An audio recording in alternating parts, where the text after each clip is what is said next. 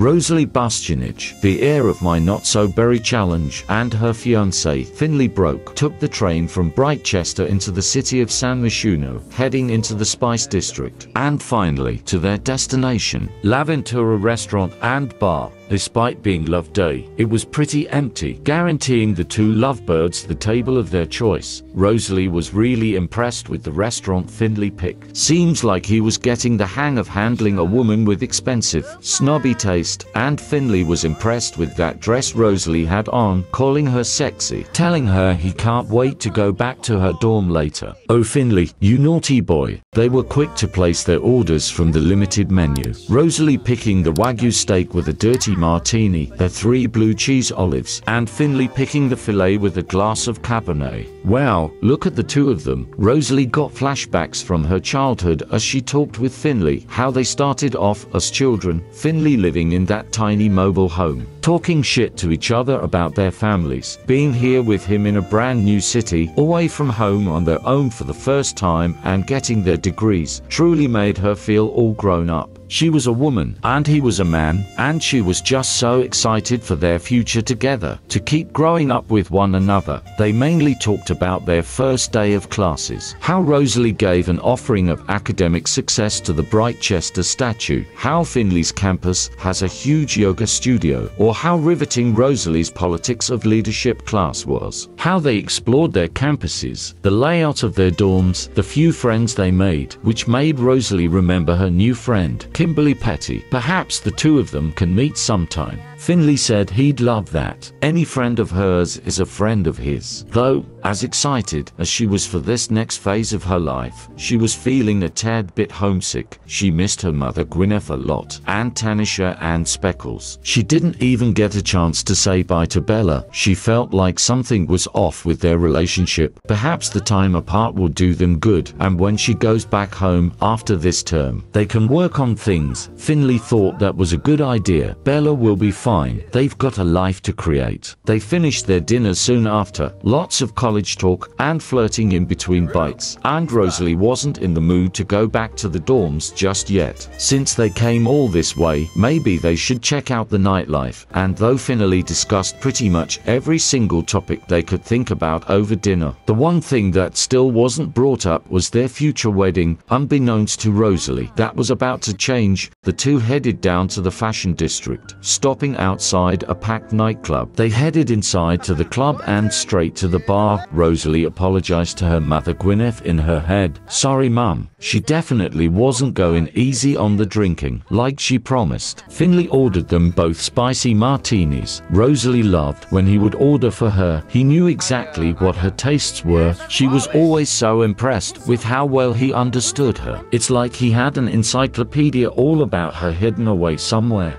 And here she was, secretly freaking out about their future marriage. It made her feel so pathetic at times. Here he was, the most sensational man she's ever known, who always went above and beyond for her. How could she doubt their engagement? How could she not be ready? They may be young, but even at Rosalie's age, she knew the chances of her finding another man like Finley were slim to none. Would getting married young really be a tragedy? But enough with the melancholy. They were here to dance. Before hitting the dance floor, Finley really had to pee. So they headed to the downstairs bathrooms first. Oh, he had some trouble getting down the stairs.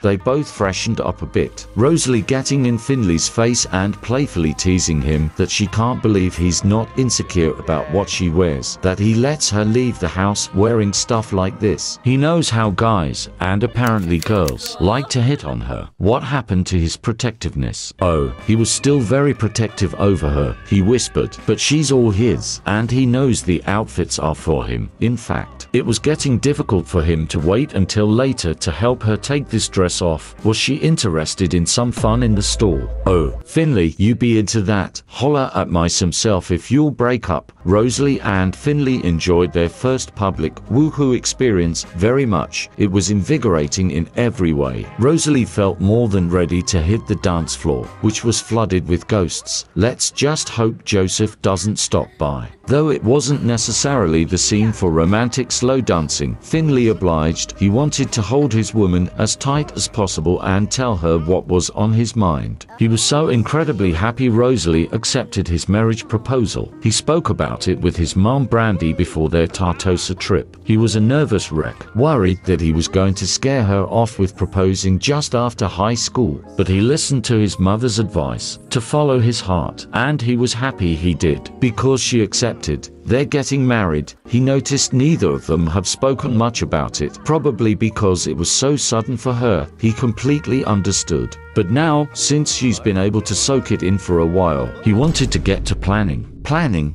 Oh god, it's happening. Originally, Finley thought it would be a good idea to get married after college, but the only reason why he believed that to begin with was because of what society thinks about marrying young, how it's irresponsible and dumb, how it's puppy love, and the feelings they share will fizzle out within a couple of years. Yes, he knows divorce rates are higher the younger you marry, but he believes in their love, and he knows Rosalie does too. He wanted to marry Rosalie as soon as possible. He was thinking after their second term is complete. Second term, that's less than two sim weeks away. He just wants to be her husband more than anything, and this would be more convenient for them anyways. They don't have to be apart from each other and live in the dorms. They can get their own place in Gibbs Hills and come home to each other every night. And he knows how men's brains work, how they have no respect for single women who say no to their advances. Once she tells them she's married, they'll be more likely to leave her alone. She said it herself in the bathroom just a few minutes prior. He knows how guys like to hit on her. Rosalie did not know what to say. Part of her thought it was sweet. Part of her wanted to throw up. She needed a distraction. Right now, real bad, or Finley's Converse and her Louboutins were done for. Luckily, she got the distraction she needed, being surprised with a hug by Maximilian Fontaine. Holy shit, what was he doing all the way out here in San Myshuno? And Finley was just wondering who the fuck did this man think he was laughing at his fiance's jokes. Rosalie helped jog Finley's memory. Maximilian hosted the Halloween party they went to in high school. You know, the one where Finley beat the living shit out of Jaquan Scruggs. Ah yes, Finley remembered that D-bag Maximilian now, the college frat guy that liked to hang around teenagers. But for Rosalie's sake, he stayed respectful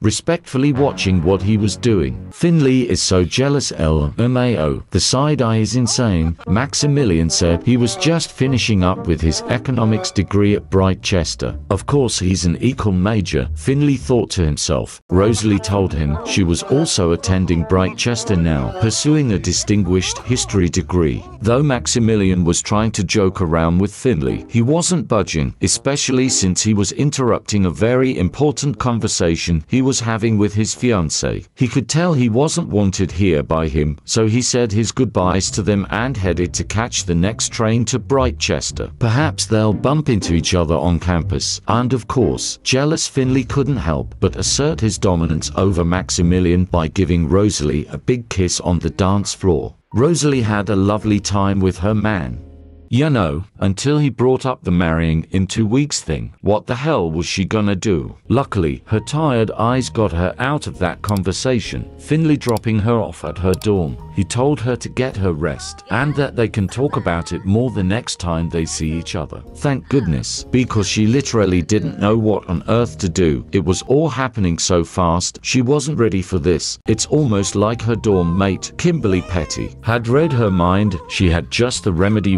Rosalie needed to get her mind off her fiancé, an invite to attend her first ever college party.